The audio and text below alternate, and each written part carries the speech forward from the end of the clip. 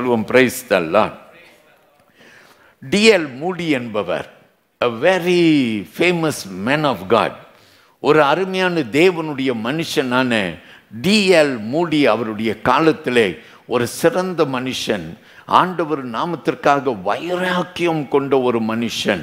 எங்கும் சென்று பிரசங்கம் செய்து அநேகரை ரட்சிப்பிலே நடத்தின ஒரு மனுஷன். இந்த டிஎல் மூடியை குறித்து நான் ஒரு சம்பவத்தை வாசித்தேன்.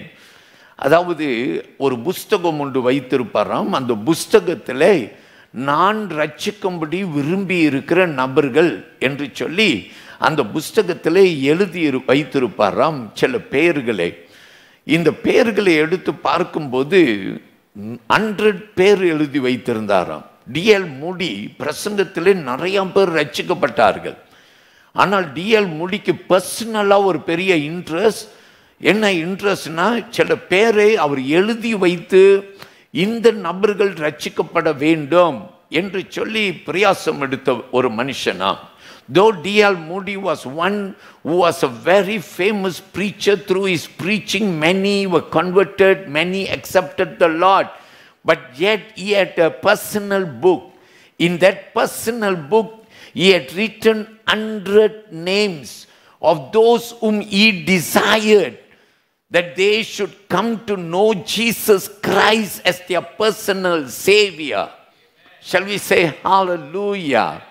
எவ்வளவு பெரிய ஒரு தேவ மனுஷன் இந்த தேவ மனுஷன் ஒவ்வொரு ஒரு கூட்டம் முடிந்த பிற்பாடு அவர் அறைக்குள்ளார போய் அவர் அவர் நித்திரை கொள்ளும் போது சந்தோஷப்பட்டிருக்கலாம் இன்னைக்கு இத்தனை ஆத்துமாக்கள் ரட்சிக்கப்பட்டார்கள் என்று சந்தோஷமாய் களி கூறி இருக்கலாம் ஆனால் அவரோ என்ன செய்தார்னா நூறு பேர்களுக்காக ஜெபித்தாராம். தேவ Ardern people people whom you know if you will look at them you will say probably they can never be saved. இவர்கள் ரட்சிக்கப்பட மாட்டார்கள். இவர்கள் ரட்சிப்பிலை நடத்த இவர்களை யாராலும் முடியாது. அப்படின்னு நம்ம எண்ணுகிறவர்கள்லாம் அவருடைய லிஸ்டில் இருந்தார்களாம். அருமையான கத்தருடைய பிள்ளையை சொல்லப்படுகிறது. இந்த டிஎல் மூடி அவர் மறித்து போன ஒரு போது இந்த லிஸ்ட்டை எடுத்து அவர்கள் பார்த்தார்களாம். அந்த லிஸ்டில் தொண்ணூற்றி ஆறு பேர் ரட்சிப்பில் இந்த டிஎல் மூடி ஜெபம் பண்ணினதுனால அவர்களிடத்தில் ஒரு வேலை பேசினார் என்னன்னு தெரியாது. ஆனால் அவர் வழி நடத்தும்படி விரும்பின நூறு பேரில் தொண்ணூற்றி ஆறு பேர் ரட்சிப்பில் வந்து விட்டார்களாம். கரங்களை உயர்த்தி கத்தரை மகிமைப்படுத்துங்கள். அதன் பின்பு சொல்லப்படுகிறது இன்னும் ஒரு நாலு பேர் வாட் ஹப்பன் டு தெம் அவர்களுக்கு என்ன நடந்தது? அவர்களும் ரட்சிக்கப்பட்டார்களா? என்று சொல்லி அவர்கள் பார்க்கும்போது அந்த ஃபினரலில் அவர்கள் அறிகிறார்கள் அந்த ஃபினரல் டைமில் அங்கே நடந்த ஆராதனையில் இந்த டிஎல் மூடியுடைய வாழ்க்கையின் அனுபவங்களை கண்டு கேட்ட அவருக்கு இந்த நாலு பேர் தேவ இந்த funeral service and these form people gave their life to God it sense Would you put up your hands and say, Praise be to God a mission accomplished, prayer accomplished, prayer answered, ஜபம் கேட்கப்பட்டது நம் சொல்லுவோம் அலே லூயா நான் இதை வாசித்த போது என் மனசில் ஒரு சின்ன தூண்டுதல் உண்டானது Maybe you are praying for the salvation of your children. Maybe you are praying for the salvation of your husband or your wife. Just as how my sister had prayed for Kieran's uh, uh, life to be transformed. இந்த சாட்சியை நாம் கேட்டோம் எப்படி சகோதரன் கீரன் தன் ரட்சிக்கப்பட வேண்டும் என்று மனைவி ஜபித்தால் கண்ணீர் விட்டால் பல நாட்கள் காத்திருந்தார்கள் they made it simple but if you will go and probably discuss you will realise how difficult that moment were but I can say praise be to God நிறைய பெற்றோர்கள் உங்கள் பிள்ளைகளுடைய ரட்சிப்புக்காக ஜோம் பண்ணுறீங்க அலே லூயா ஆண்டவர் நாம மகிமை பெற maybe some of you you are praying for the salvation of your relatives of of your siblings உங்களுடைய கூட உடன் பிறந்த சகோதரன் சகோதரி ரச்சிக்கப்படுன்னு அல்லது உங்க சொந்தக்காரர்கள் நெருங்கினவர்கள் உன்னுடைய தாய் தகப்பன் ரச்சிக்கப்படணும் இப்படி எல்லாம் நீங்க வாஞ்சித்திருக்கலாம். லாங் டைம் பேக் இந்த church we had a tree ஒரு ஒரு வரப்படம் ஒன்று வரைந்து ஒரு மரம் ஒரு பெரிய மரம் ஒன்று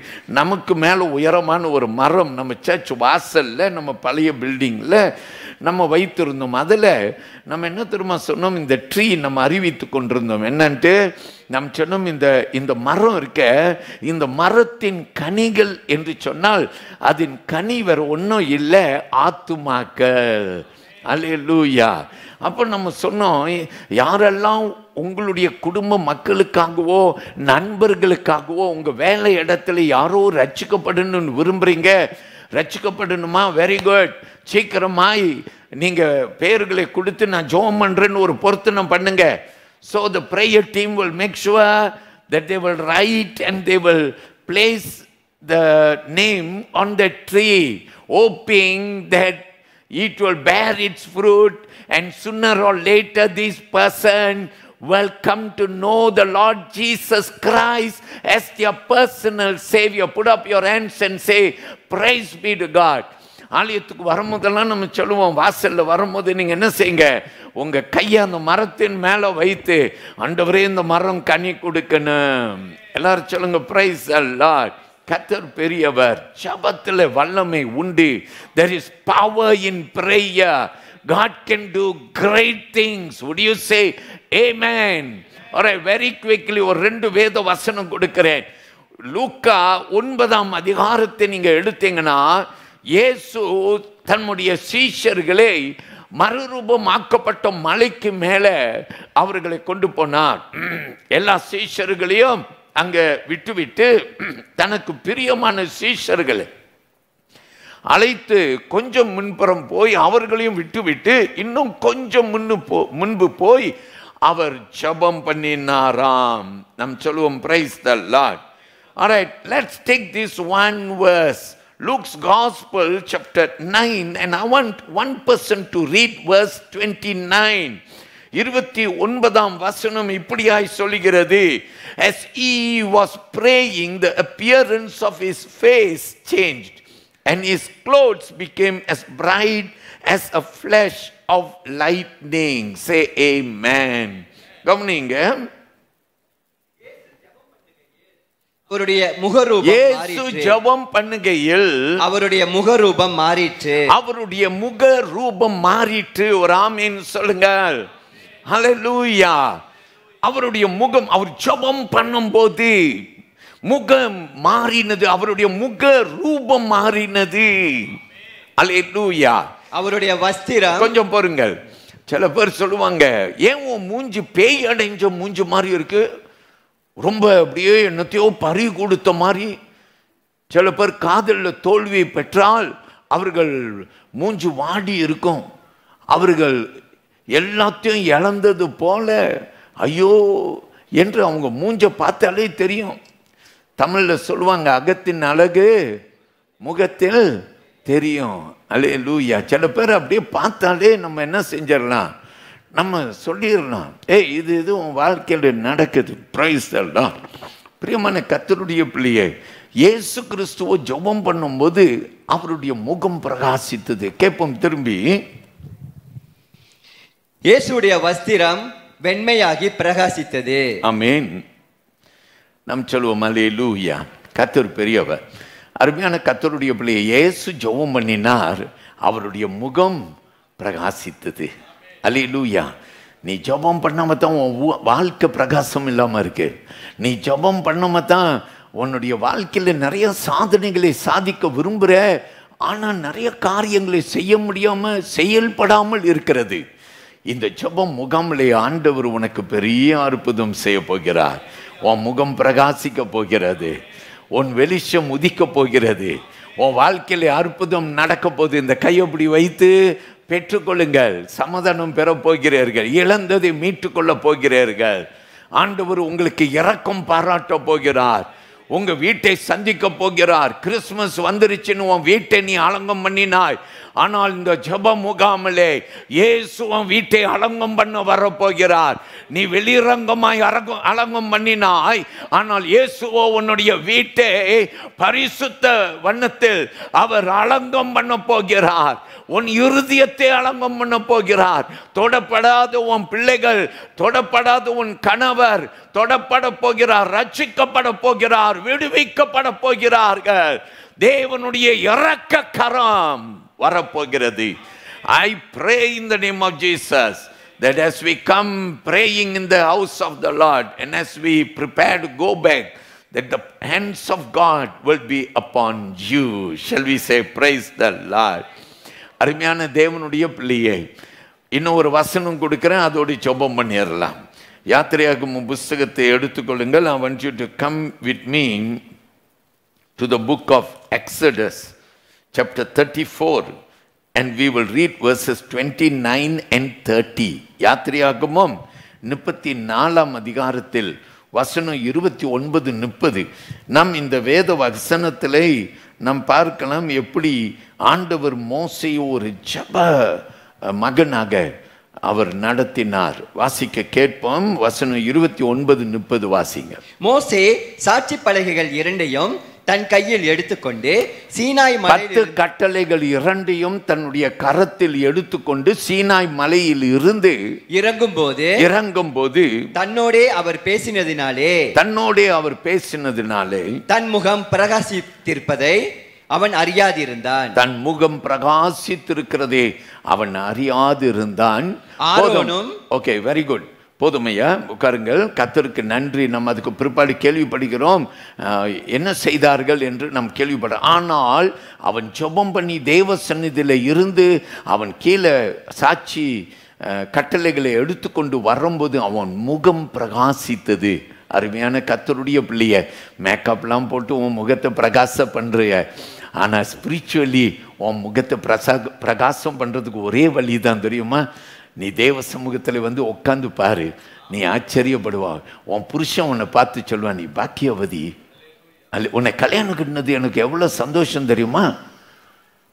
உன் மூலமாக நான் எவ்வளோ பிளஸ்ஸிங் பெறேன் தெரியுமா? உன் கணவன் ஆச்சரியப்படுவான். அருமையான கத்தருடைய பிள்ளையை உன் மனைவி ஆச்சரியப்படுவார். குடும்பத்தில் தலை என்பது கணவர். இன்னைக்கு நிறைய கணவர் கோட்டை விட்டுட்டு உட்காந்துருக்கிறாங்க என்ன மாதிரி கோட்டை விட்டாங்கன்னா அந்த தலைமைத்துவத்தை எடுக்கலை. மனைவி தலைமைத்துவத்தை எடுத்து விடுகிறாள். கத்தருடைய பிள்ளையான நம்ம தலைமைத்துவத்தை எடுத்தால் ஏன்னா ஆண்டவருடைய வேதம் அப்படி சொல்லுகிறது. அப்போது கத்தர் நம்ம குடும்பத்தில் நம்ம பிள்ளைகள் எல்லாரையும் கத்தருடைய பிள்ளைகளாய் நடத்துவார். பிரைஸ் த அதனால கணவன்மார்களுக்கு ஒரு சின்ன ஆலோசனை. இந்த ஜபம்லாம் எங்களுக்கு இல்லை. ஜபிக்கிறவங்களா? அது அவங்க.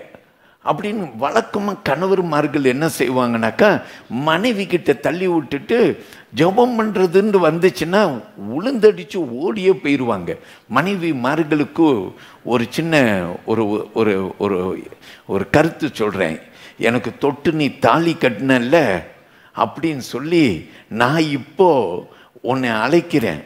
நீ வந்து ஆகணுன்ட்டு நீ வரல பாஸ்டர் சொன்னது மாதிரி உன் கையை கட்டி நான் கூட்டிட்டு போக போறேன்னு இழுத்துட்டு வந்துருங்க. ப்ரைஸ் தல்லா கணவரை கூட்டிட்டு வாங்க.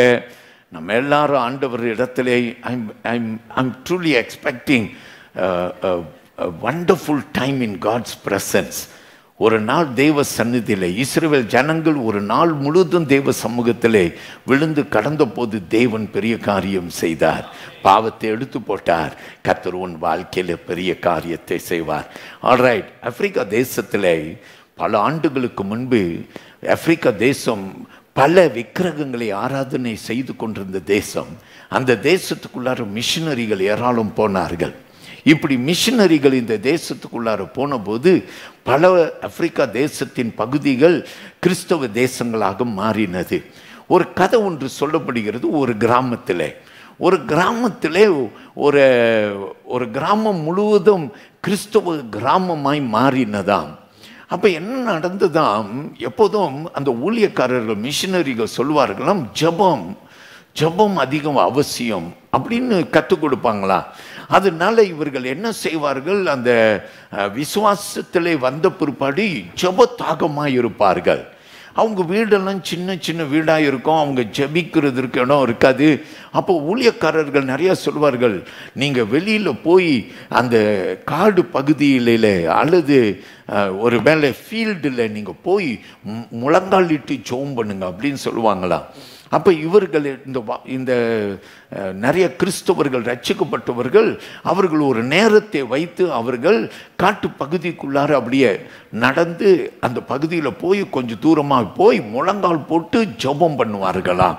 அருமையான கத்தருடைய பிள்ளையை இதை நான் கொஞ்சம் ஆர்வமாய் வாசித்தேன். அதில் என்ன சொல்லப்படுகிறதுனா ஒவ்வொரு ஒரு நாளும் அந்த நேரம் வந்துருச்சுன்னா அவர்கள் நீங்கள் பார்க்கலாம் ஒவ்வொரு ஒரு விசுவாசிக்கும் தெரியும். இந்த நேரம் இவன் இந்த பகுதிக்கு நடந்து போகிறானாக்கா அவன் முழங்காலிட்டு ஜெபிக்க போகிறான் அவள் முழங்காலிட்டு ஜெபிக்க போகிறார் இவர்கள் அந்த இடத்திற்கு அடிக்கடி இப்படி நடந்து நடந்து போகிறதுனால காடாயிருந்த அந்த இடம் அந்த நடக்கிற குறிப்பிட்ட இடம் மட்டும் ஒரு பாதியாக தோண்டினது அப்போ நீங்கள் பாருங்கள் எப்போ பார்த்தாலும் நீங்கள் ஒரு இடத்தையே நடந்து போய்க்கொண்டே இருந்தால் அந்த இடத்துல ஒரு பாதை விழுந்துடும் அப்போ இந்த பாதையாக இருக்கிறது அப்போ எங்கே பார்த்தாலும் நீங்கள் பார்த்தீங்கன்னா காட்டு பகுதிகளிலே பாதைகள் பிறந்தது. அப்போ எல்லாருக்கும் தெரியும் இது இவர்கள் செபிக்கிற ஒரு இடம். அலே லூயா கரங்களை உயர்த்தி கத்தரே மகிமைப்படுத்துங்க. அப்போ இவர்கள் என்ன செய்வார்களாம் ஒருவருடைய ஒருவர் பாதங்களே பார்த்து கொள்வார்கள். அவர்கள் பாதை காடு அடைஞ்சிச்சின்னு வச்சுக்கோங்க.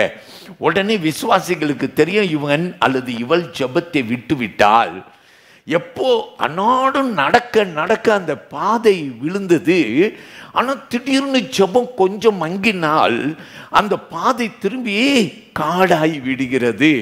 அப்போ என்ன நடந்துதான் ஒவ்வொரு ஒரு விசுவாசிகளும் என்ன செய்வார்களாம்? குற்றம் சாட்டாதபடி இவர்கள் உடனே அவர்களுக்கு ஒரு உற்சாகத்தை கொடுப்பார்களாம்.